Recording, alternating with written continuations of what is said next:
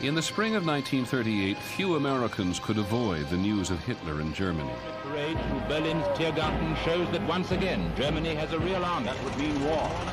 When will Nazi aggression end? The democratic nations draw together against Suddenly, the as if in warning to the rest of Europe, Hitler orders all Germany to mobilize at its full war strength. A million and a half. Growing anxieties over the increasing power of the Third Reich turned a heavyweight boxing match in June 1938 into an international showdown. In one corner of the ring would be Hitler's pride and joy, Max Schmeling. In the other, the American champion, Joe Louis. Joe symbolized not only the fight against discrimination, but the struggle against fascism at a time when the entire world was talking about uh, Hitler and Mussolini, anti-Semitism. Under the ring, Max swing around him. Joe Louis led quick with two straight lefts to the chin.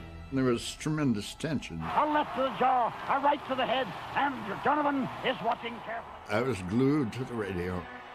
Louis measures him right to the body, a left hook to the jaw, and Schmeling is down. We just exploded, shouted, wow! The count is five, six. The men are in the ring. The fight is over.